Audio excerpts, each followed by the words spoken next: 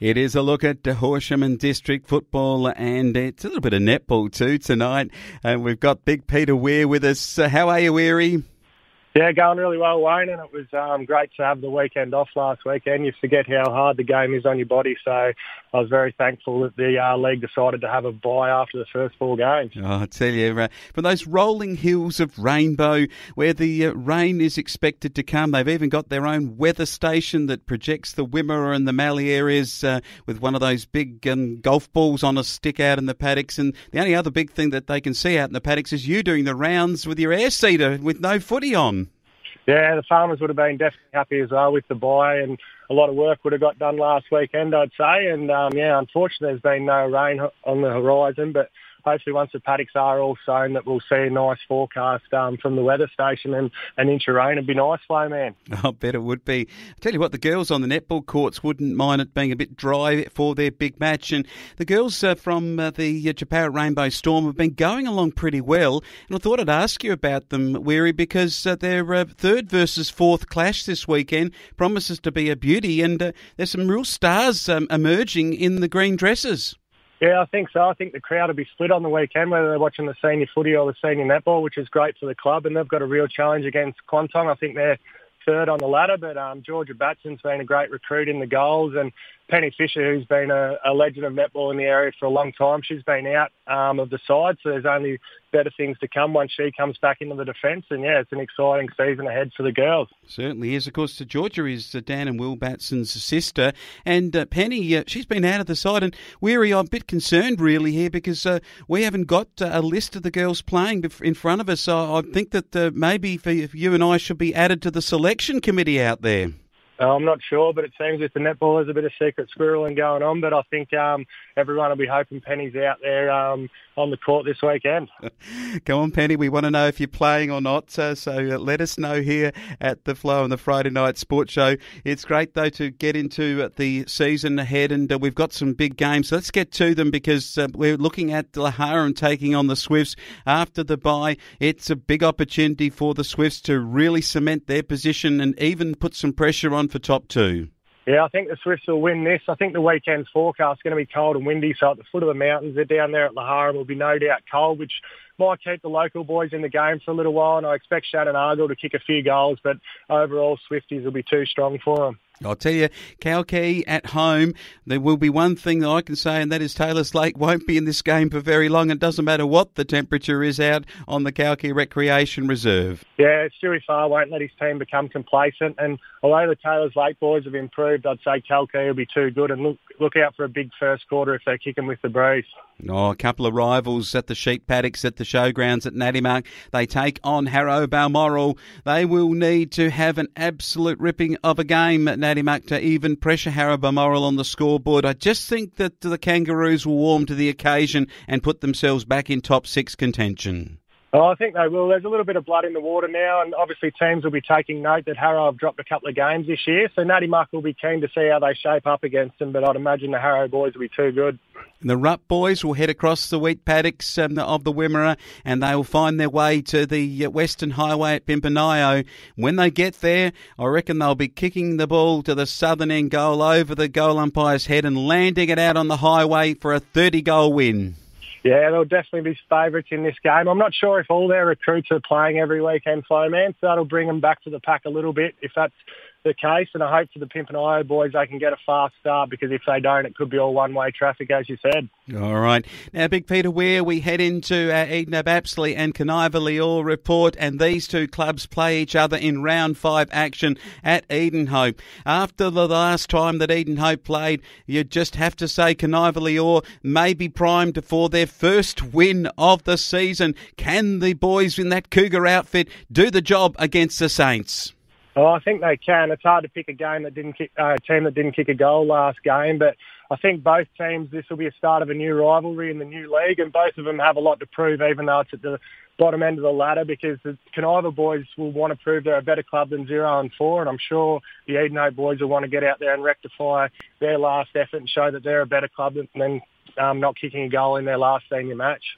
I tell you too, eh, these two sides both come out of KNT, so there is that kind of context of the two South Australian orientated sides, the ones that are the furthest to the border in Victoria, and that for mine is going to bring a really, really big heat for the game. And I think it's going to go right across the grades because uh, as you take a look at the reserves and um, you see that uh, the boys in the Kaniva Cougars trip had a bit more success in their reserve side and uh, they're going to come out um, really hard. And I reckon they could even beat Edenhope Apsley, who at the moment are sitting in second to bottom, only above your Parrot Rainbow boys. Yeah, I think same as in the senior grades. Probably both clubs are lacking a bit of confidence throughout, so it's probably key for the twos and the senior boys just to get their hands on the footy and just try and be clean because I'd imagine both contests will be pretty hot, as you said, with the new rivalry. So I think whoever settles into the game gets some clean possession, gets the ball in their team's hands and just builds some confidence. I think it's not going to be about someone kicking five or six goals to win the game. I think they're just going to have to get strip it right back to basics and, and play good team footy and whoever uh, can gain possession and stay cleanest over the day, I reckon will win both grades. I tell you what, um, when it comes to their um, under 17 sides, both of them have been absolutely poleaxed every week they've played. Yet this time, 11 plays 12, the bottom two sides. Who gets their first win of the season? Oh, I think I'll back the Kaniva boys, but yeah, both teams are struggling on numbers there. They certainly are in uh, really short numbers. And in the 14 year old grade, it uh, gets a bit better here for the Edenhope Apsley side. But uh, in the, the, context of this, it's fifth playing second and Kaniva in fifth place. They might fancy themselves this, I reckon, at the games that are being played. This is probably going to be one of the best to watch early in the morning. Yeah, it definitely is. It's amazing because it's similar to the Parrot Rainbow Footy Club that we have quite poor numbers in the under 17s, but both under 14s teams are quite strong here, and it should be a ripping game of footy, and I'll be interested in the result. I certainly will be too. So, okay, Peter, we move now to the last clash, and this is in the senior game, and it's the Noradjuha Quantong boys. They come up against the boys from Jeparit Rainbow, and it's going to be an absolute beauty down at Quantong. It'll be cold down there. We hope it's wet. And Big Peter Weir, we hope that the soreness of your body has been overcome by a week off, and that you're ready to go, and you're ready to take on those red and black boys.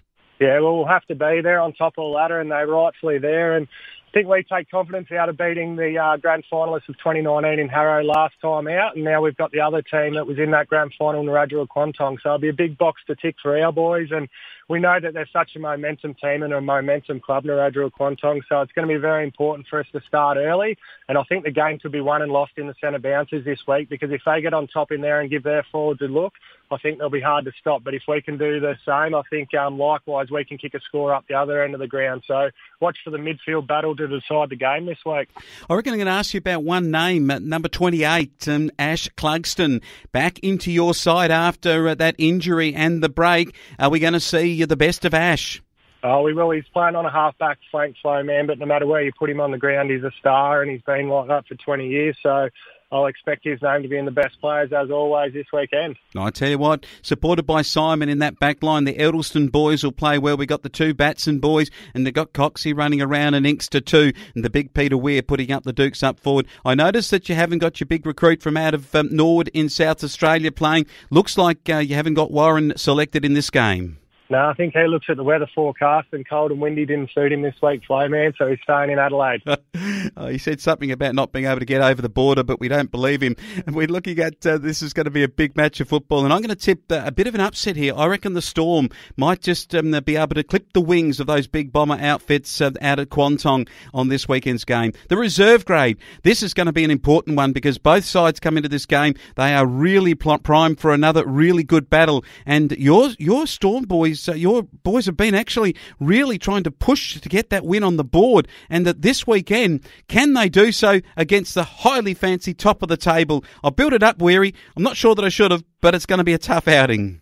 Yeah, it will be a tough outing for the um, Twos boys, but as you said, we've got a, much more depth in the team this weekend, and Luke Werner returns after a really um, nasty hamstring injury, and he's an ex-coach and captain and a, a really good senior player. So just having one bloke like that back just changes the um, structure of a twos team so much. So I expect um, him to have a big impact, but I still think they just might struggle against the top of the table Bombers. I was just looking on the list of names named for the Storm, and I was hoping to see the Butcher, who's expanded. Uh, I thought he might expand back into a reserves game of footy, the old Heath Cluggy. No, I think he's expanded into a new set of golf clubs, unfortunately, Flo, man. we might not see Plugger out on the footy oval this year, which would be disappointing. uh, well answered. Uh, the under 17s, uh, it is a chance for your boys. Uh, been showing a bit, uh, and Rachel Quantong in seventh place, you're in sixth. And your boys, a real chance here, even uh, with the numbers. You've been bringing up some of the better under 14 lads, and, and you're going well. Yeah, I think the coach Steve Leach would have circled this game as a real chance to get another win, and I can't see why they won't go very close. Obviously, a lack of numbers is going to hurt them, but Murphy Leach and uh, Louis Cox will have a big game, and hopefully the boys can sneak over the line. All right, Dad. What about this? The young lads running around the morning should be cold enough down there, that's for sure. And I reckon that this moisture hopefully does get through, and uh, it could uh, present um, well what will be a lot of ball on the ground. And I'd suspect that of that with Noradjuha Quantong in 11th place and you in 10th, another really close contest and a chance for your boys to get their first win. Yeah, I reckon so as well. And it's great to see there's 24 young fellas selected in this game. So it's great to see the numbers in the under 14. So the coaches, Blue Fisher and um, Adam Gould, have a bit to work with there, and they'll make sure all the boys get a good run, but still have um, a win in mind for the team. So it should be an exciting game under 14s to kick off the day. Certainly was exciting uh, when we uh, saw that photograph from the last game of the only goal kicked, and uh, there was the boys gathering around and high fiving and all sorts. So we're hoping for that for the Storm boys in the green outfit, and we're looking forward to the results coming through. You have a terrific weekend, Peter. No worries. Thanks, Lane.